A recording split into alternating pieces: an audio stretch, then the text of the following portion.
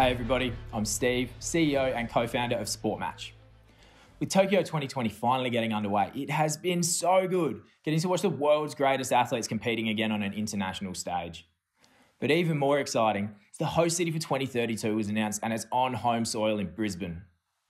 While we watch the current generation of athletes compete for gold, it's crazy, but we need to start thinking the search for the 2032 team starts right now. Many of the athletes that will end up competing are probably only just starting school. So, how do you identify children with the potential for excellence in 2032? Well, in Australia, as well as many other countries, early talent ID is key to why we sit higher in the medal tally than our population would suggest. The problem is, is that sports scouting and talent ID, particularly at a grassroots level, is slow, is fragmented, and it's subjective. And in Australia, less than 5% of children are being assessed each year meaning hundreds of thousands will have been overlooked by the time 2032 comes. This is even more true for countries with larger populations and less access to resources. But what if we could automate the testing and analysis to predict what an athlete from as young as eight will look and perform like as an adult? Well, that's what SportMatch does. SportMatch is a digital talent ID platform. By testing athletes in 20 standard fitness and body measures, SportMatch uses predictive analytics to predict an adult size and performance, to match an athlete to their best suited sports, and to improve efficiencies in player comparisons. Sportmatch is currently working with Australian institutes to help identify Olympic talent, but outside of sports institutes, we know that sports teams and leagues are also competing to find the best talent earlier.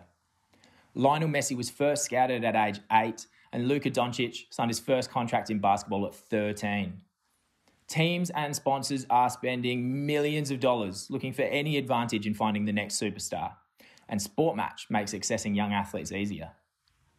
The SportMatch algorithms are an evidence based approach to talent ID, which combines our domain expertise in sports science with the largest known database of performance data in children and elite athletes.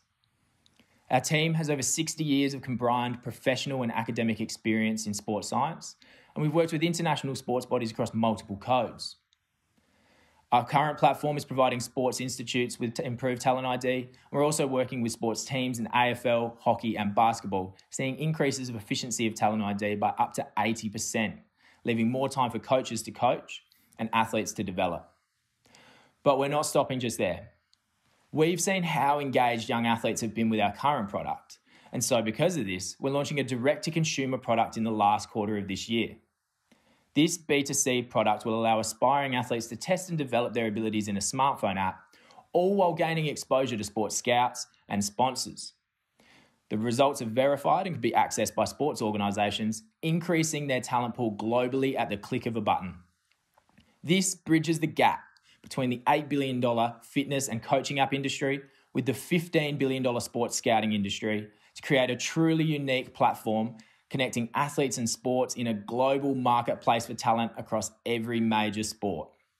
We're opening a funding round in the coming months to develop the direct to consumer product and maximize our opportunities in this area. So, if you're involved in testing, evaluating, or developing athletes, please contact us for a chat about how SportMatch can improve your talent. For everybody else, I appreciate your time in listening to the demo, and please do reach out for any more information on our platform, on partnerships, and on funding. Thanks.